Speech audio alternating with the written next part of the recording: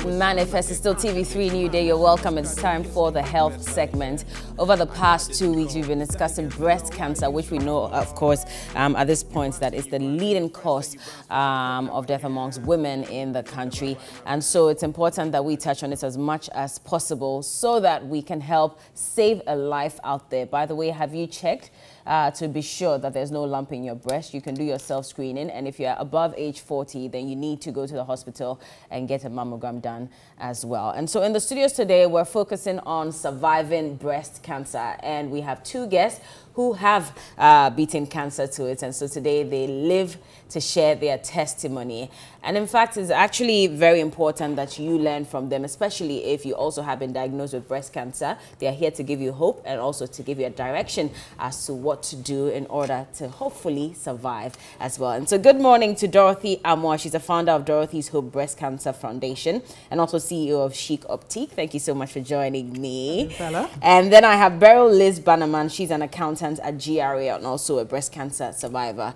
First of all, um, let me ask you, Beryl, how long have you been living without breast cancer? Um, nine years. Nine years now since you, you survived. That's right. Wow. Dorothy, how about you? Um, it's been several years, way over 15 years. Over 15 years? Yeah. Okay, how did you find out, Beryl, that you had breast cancer? Mm. Accidentally, my youngest daughter, you know, pressed my breast accidentally. okay. I didn't feel the pain. Mm. So I just did a little touch and I was sleeping there. So in the morning, I checked, I saw everything was fine. Mm. And I told my mom, and she said, we need to get to the hospital. When you say everything was fine, I'm a bit confused. Physically. okay. There was nothing wrong with But it. you felt pain when your daughter pressed? There was no pain. Okay, so Yeah, what alerted abnormal. you? It felt thought- abnormal. No, Okay. you know, no pain on her breast. It was abnormal because Okay. she she put her whole weight on. Mm. Right. So there was some numbness there that you Yeah, couldn't explain. yeah, so you went to see a doctor the next Yeah. day. Did some few tests and they realized that that was it. So in your case, what stage were you before you realized? Uh, the first one I was in second stage, and the second one was, I think, the third stage. Wait, when you say first and second, so first you're diagnosed in one breast. Yes, Okay. That And- was nine years ago? that's right. All right. And then immediately they found out, um, what, they had to check the second breast as well? No, it wasn't checked at all. So I had to undergo the surgery. Had six cycles of uh, chemotherapy. Six cycles? Yeah. Wow. Second stage and there was surgery already. So that means they had to give you a, a mastectomy That's right. immediately. That's right. It was an emergency. wow. So within how many weeks did you have to undergo the And I can say within uh, one and a half weeks.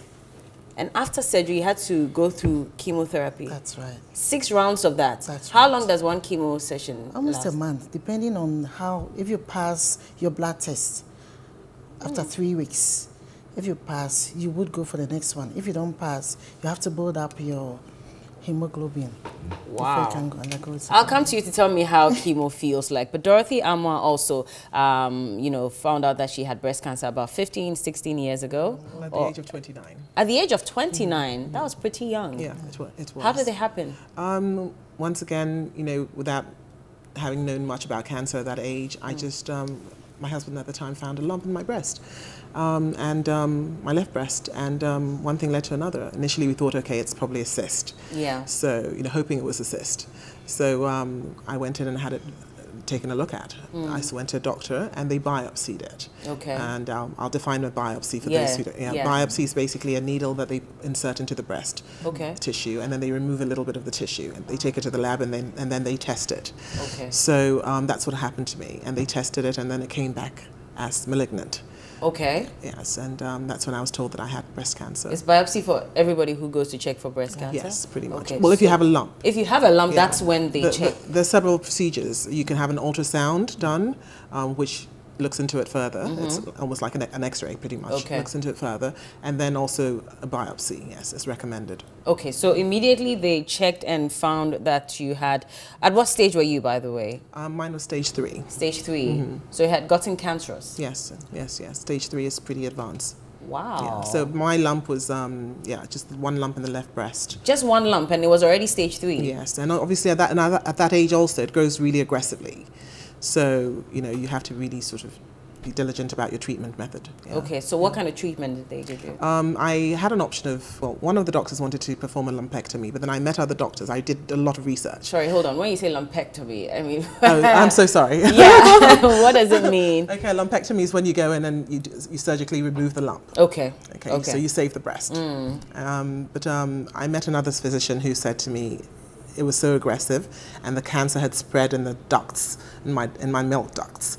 So um, he advised the mastectomy and reconstruction, which is what I ended up doing. So Okay. I had a mastectomy, the removal, and then I had a reconstruction done. So when the removal was done, did you also have to undergo chemo? I did, yes. So And everybody who is diagnosed with breast cancer would. Not necessarily. Okay. Um, with stage three, the chances of your cancer having spread to other parts of the body is quite high. Ah. Okay, so what they do is, whilst I was on the table and they did the surgery, they also took out lymph nodes from under my armpit. Okay. Okay, um, because everything goes through the lymphatic system. Mm-hmm. So, um, so they took out the lymph nodes, some lymph nodes, and they found three positive. Hmm. Okay, so the fact that they found three lymph nodes positive meant that the cancer was possibly hiding somewhere else in my body. Okay. So then the only option, what, what one has to do then is to perform, um, to go through chemotherapy.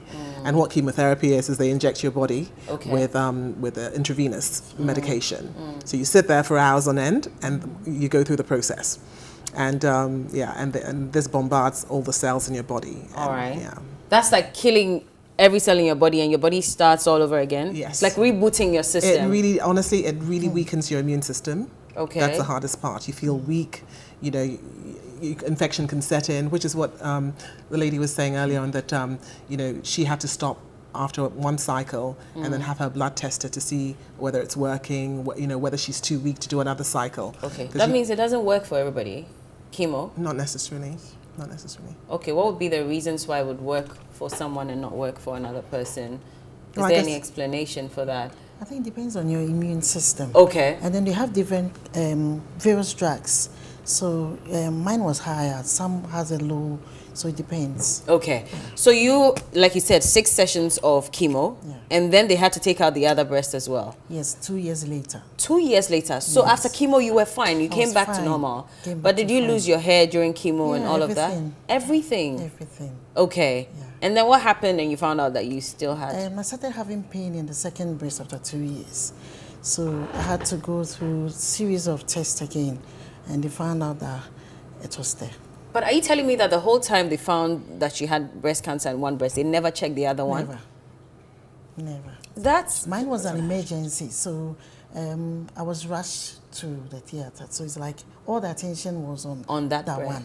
They f- totally forgot about the other one. That's rather and throughout the unfortunate. tests and all of that. Yeah. But then, if that's the case, chemo is chemo for the whole body, or i- it's only for that part of your body where the cancer is. No, it's for the entire body. It's, So it's then it- systemic. It, goes through the entire body. So why didn't? Then I'm assuming that the chemo should have at least killed No, I the think- cells what in she- the other. If I, I think what she's saying is that it, she had one breast removed. Yeah. was treated for that, and then a couple of years later, you had a recurrence in, the, in the other breast. Right, right. Yeah. What is what the doctor said was, I think um, because of the chemo drugs, it there was a cancer in the other breast, Yeah. but because of drugs, it shrank. Okay. So Okay. it So, became after inactive. two years. Yes, and then it started. So did you find that out yourself, or you had to I go found back? out myself because it was giving me pain. Pain. So Yeah. you went back and they said it was. Right. So as you're here now, they um you've undergone a double mastectomy. That's right, bilateral. Wow. How is it like? And how did you, how difficult was it accepting that I'm going to live the rest of my life without my breasts? The first one, I cried totally for I think uh, five days. I didn't talk to anyone because I had to come in terms with what was ahead of me. Mm-hmm. And um, after that, I had uh, friends, I had my pastor talking to me and uh, encouraged me. So you literally had family support. That's Without right. them, you don't think that you would have Um, made it through? Yeah, yeah, you can't do it on your own. Okay. You can't do it on your own. Okay. So after they took out your breast, what what happened? I mean, how you survived? Because I still see that you have Yeah, breasts now, so I'm a little confused. yes, yes, I, I was um, given prosthetics to put in there Okay. to replace in my And all this was done in Ghana. Yes, I in was Ghana. Korle Bu. Okay. Yeah. What about you, Dorothy? You under, uh, underwent reconstructive surgery. So I'm guessing that didn't happen here. No. Okay. no, I was in the U.S. when it ha- when I was diagnosed. Mm. So I was at Columbia Presbyterian Hospital. That's where I p- had my surgery performed, and I had the option of, um, you know, having the removal and then um, waiting Okay. and then having the reconstruction. But I, I really wanted to, it to be over and done with. Immediately. So I, I went through 17, more than 17 hours of surgery. 17 hours. Yeah, because they did. The plastic surgeon came in after the surgeon had removed, and then, you know, did the reconstruction. Okay. I had a procedure called a TRAM flap, where they take tissues and muscles from the stomach, Okay. and they use it to do the reconstruction. So everything is back to normal now. Well, it's never back to normal, Okay. but um, yeah, You're fine. I mean, better, yeah. yeah, yeah. But but what about you? What are some of the psychological, um, you know, I think it really hit me when I was lying on the operating table. Mm-hmm. That's when it really hit me. And then he came along and drew on my body with all the marks, how he was going to cut me up, you know, and that's when it really hit me. And you know, was it difficult getting back to normal after surgery? Yes, it was. It was? It was. It was. What I made it easy for I- you? My work. You know, I'm a pretty strong-minded person and strong-willed Okay. person. So, I think fortunately, you know, my businesses were thriving, and I, I just didn't stop. I remember I was in, I left the hospital about three or four days after the procedure. Yeah.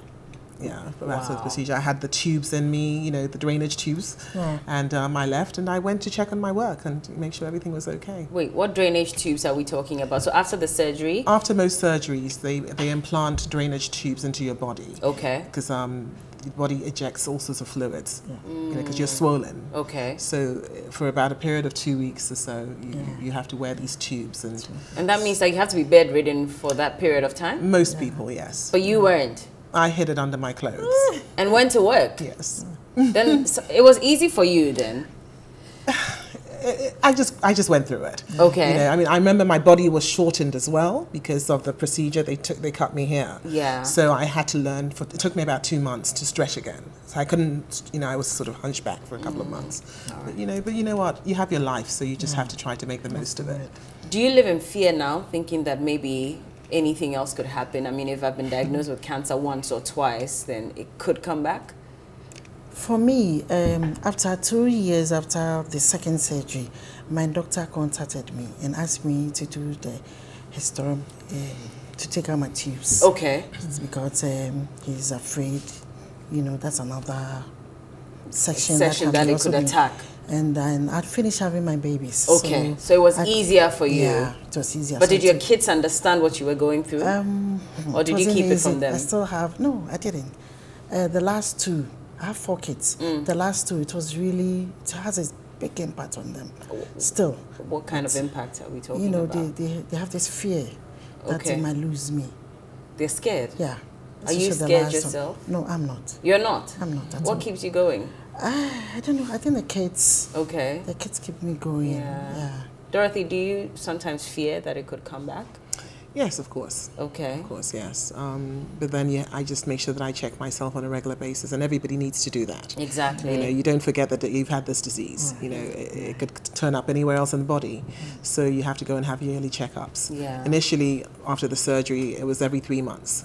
You know, go and have my blood tests. Mm-hmm. Okay. And then mammograms every six months, and then it became every year. So right now, I do my mammograms every year on the other breast. yeah. Mm, just to be sure. Yes, and all my um, all my blood tests. Yeah, regularly. This difficult on your husband as well? Um, yes, it was. I think he he you know, I mean, he actually fainted when he, we were told at the time. Yeah, I remember that. Yeah. And, and I mean, after your breast was taking off, okay, well, you immediately got the reconstructive surgery, but then, of course, like you said, it's never the oh, it's same. still it's still never the same. I mean, I Yeah. stared in the mirror thinking, "What the heck have they done to me?" You know, it's never the same. But um, you know, it's very important to have family support. Certainly. Yeah. I, I didn't have my kids then, so Okay. even then they they wanted to. You know, they considered freezing my eggs. I decided to take my chances, and I was Mm. and blessed. you had kids after. Yes, yes, I have two wonderful girls. Yes. You're brave. I would have been scared. Yeah. You I have to be really. brave Were for you able to breastfeed them Yes. after with the other breast? Yes. Okay. But not for long. It was a lot of work with the one. Why was it a lot of work? Because it's I one. mean, because of just because it's one, not because maybe you're feeling Oh, pains no, no, or no, anything. No, no, no. But you Okay. know, it's, it's, it's, it's tiring. Wow. Was your husband okay with the fact that you didn't have? You know, fortunately for me or unfortunately for me, my husband has a mouth stroke and has dementia. So he does not figure out what is really happening. And it looks And like that was happening around the time you had the cancer? Yeah. Wow. Yeah, so for me, I think it's also another way that helped me to move forward. Okay. Yeah, because because I- didn't really have afraid. time to. Yeah. This must be tough. Life after cancer, nine years and 15 years, and you're here smiling and sharing your story. I'm sure in the past it must have been difficult to even tell people that I was diagnosed with breast cancer, but here you are today. You run a foundation um, that educates people and sensitizes people on that. Why did you decide to set it up? Well, I um, I started. I moved to Ghana about 11 years ago. Okay. Uh, I'm stuck at 11. It's probably 12 years. but um, I started encountering lots of ladies with um, with the disease, and most of the cases I was seeing, you know, it was very advanced. Um, stage four breast cancer. You Yeah. know, sometimes you see people with one breast much bigger than another, and you wonder what took them so long to go see a physician. You know, um, so I started talking to them, and I realized that I wanted to do more. Okay. And so I, um, education is key, yeah. um, creating awareness as well.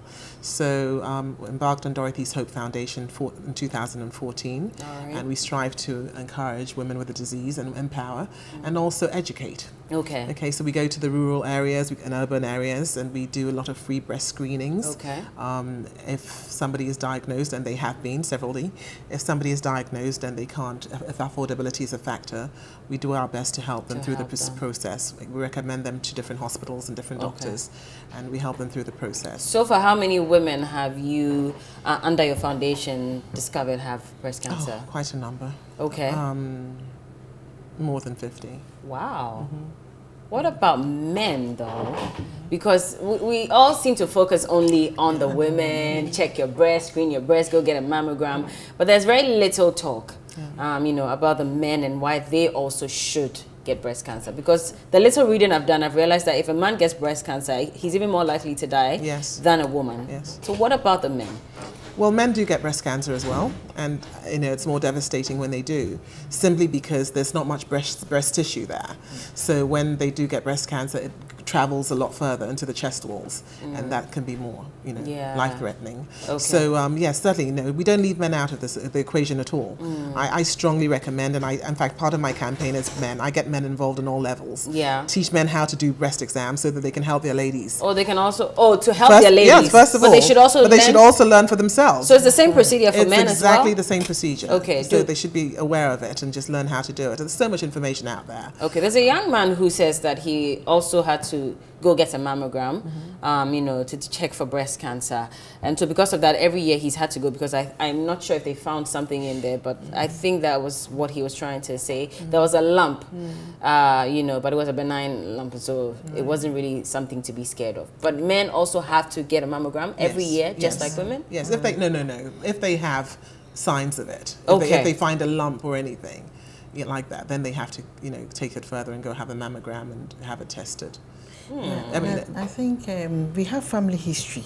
Okay. Um, families should try to speak up to help the family members because I have a family history, my mother's side. Okay. And no one talked except one auntie. And she's died. I mean, she stayed with it for 20 years. And uh, I don't think that was actually the one that killed her. But um, once there's a family history, talk. And that should help others to check. Yeah. So even if it's your auntie, it's very likely that it can still yeah, come to you if yeah. it's an and had she- extended had family. she known, exactly. she would have yeah. probably gone for a test. A earlier. test. earlier. Yeah. started her mammograms earlier. I mean, most women are advised to start mammograms at the age of 40. I, I, I believe you should start a lot younger. Okay. Yeah. We should get a mammogram Especially, earlier. oh yeah, I mean, I, I mean, it happened to me at 29, so I, I truly believe that you should have it done earlier in your 30s if possible, early 30s. But um, that's my opinion. Hmm. Yeah, of course, of course. Um, but regardless, if you have a family history, then you need to be checked earlier. Earlier. Right. But just make sure that at least every year you get a mammogram um, or get screened as well. You are also sensitizing people on breast cancer. Yes. How are you going about it? At the local level in my church, Okay. every year, Okay. I organize doctors from Korle Bu and nurses to do the screening. We do a health walk, and um, the cases we get, I follow up with them back to the Back hospital. to the hospital. And I hope you continue to do so much more. I know Dorothy has a lot more that she's doing.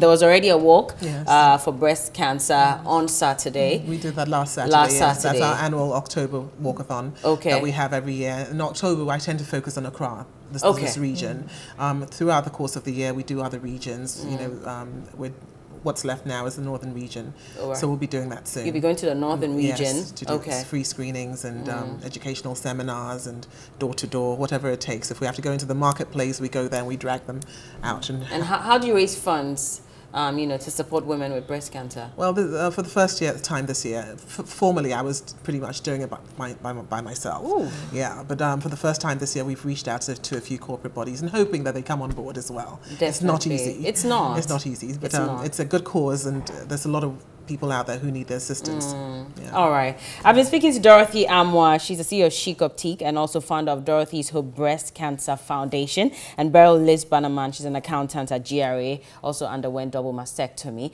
Uh, but as you can see, they're fine, they're living a healthy life, and so can you. Early detection saves life. And so please, if you have to, go to the nearest hospital and check and be sure that you're fine. But if they find a lump or they find out that you have breast cancer, all hope is not lost. You can survive. Thank you so much for joining me, and I wish you the best. I'm definitely, you know, part of your team, so we're going to promote it as much as possible. But I pray that you stay alive, Amen. and I know nothing is going to happen. Amen. Amen. okay, so that's it for the health segment. We